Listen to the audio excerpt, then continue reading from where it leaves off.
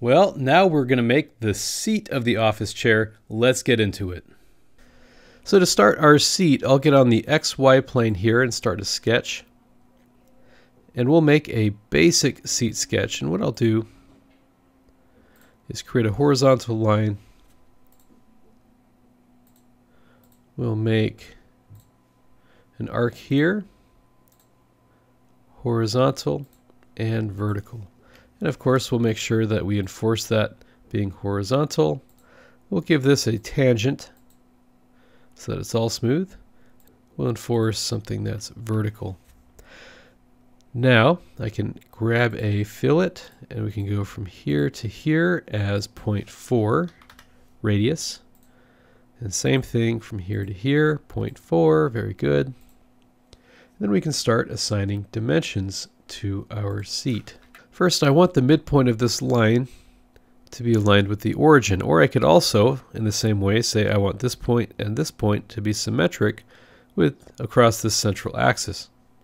So I can use the symmetry constraint, or I can use the midline or the midpoint constraint, just like that, where I tell Alibre that I want the midpoint of this line to always lay on the origin.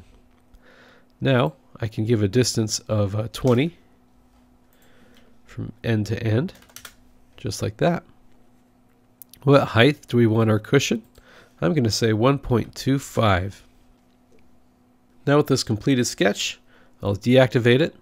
We'll go into our XY plane and create another plane that's offset a distance of 10.875. We'll close that. And then I'd like to make another sketch on the plane that I've just created.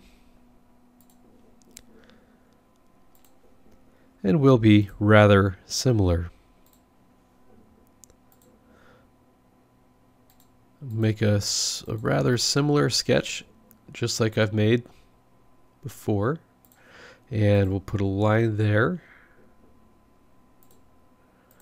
And a line there we'll make sure our line is vertical.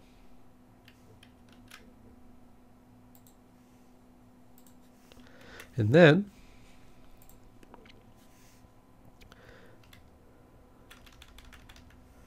I'll add a sketch fillet. This time I'll give this a radius of 0.5.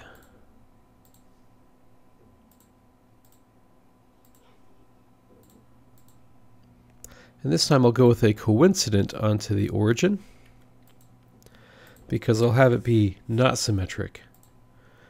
I'll grab this point and the origin and we'll say 8.4 grab the origin and this point and we'll say 8.75.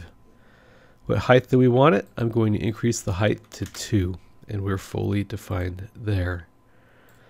So those will be the sketches for our seat, but let's also create a sketch on this top plane here. And I'm going to project this line and this line as reference figures with maintained association. I can click reset view to look straight down again. I'm going to make an arc from here to there. We'll go with horizontal from this point to this point and then make another arc from here to there. And we'll go we'll go with a horizontal. We'll go with a horizontal from this point to this point. Deactivate the sketch we're going to make a loft now from this sketch to this one. I'll make a global from here to here.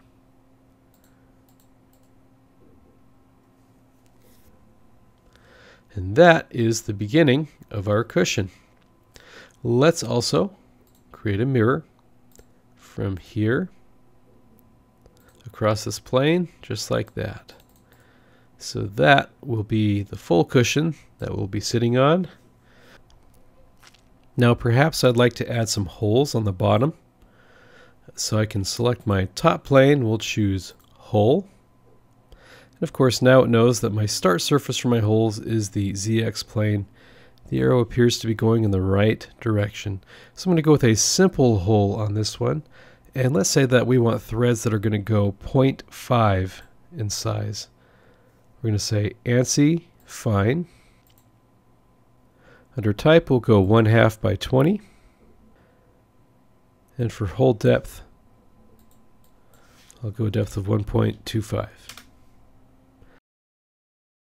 Now I also have a sketch that I need to make. So we'll add four holes, reset the view, and I can use a, a symmetric constraint where I select my axis there and there. Select my other axis here and here. Then I can choose horizontal and vertical. And now all my holes, now all my holes should have a certain symmetry about our center. So all I really need to do now is dimension them. I can give 11 here by 10 here. Now we should be fully constrained. So we'll say OK.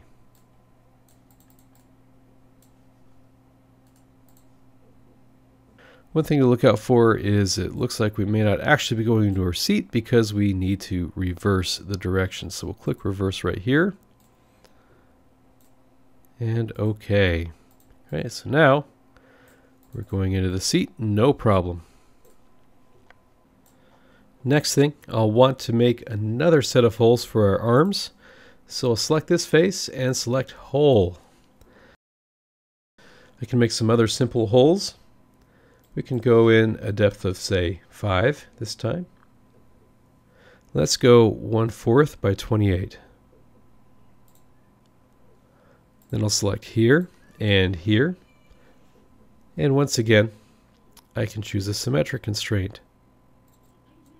So we'll choose this from here to here as symmetry.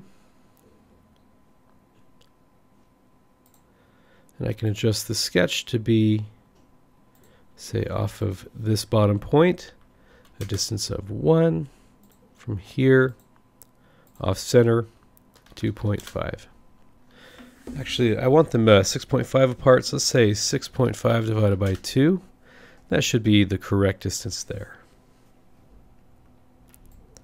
Looks like we're fully constrained, so we're going to say OK. And then simply Mirror the holes across our center plane. And there we have holes on each side for our arms to attach. And then we'll add a fillet on each side to make it even more cushiony. We'll come down to point four, let's say, apply. And that should be our seat cushion.